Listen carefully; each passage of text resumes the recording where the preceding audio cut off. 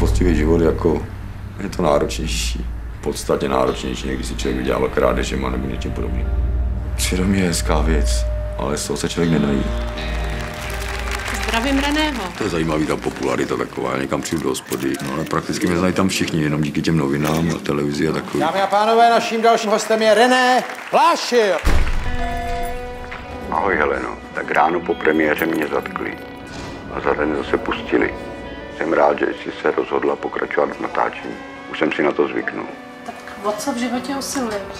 Už to konečně dám dohromady, já už o to usiluju celou dobu, co jsem venku. A abych měl aspoň nějakou tu svoji svobodu a mohl si něco dělat. Svobodu v tom, že se fakt budu moct věnovat, dejme tomu psaní, nebo tam nějakým vztahu, nebo já nevím, něco udělám a budu mít za to kde bydlet, budu mít za to co jíst a budu se moct něčemu věnovat. U nás maká. Bezmocnost. Největší trest kriminálu.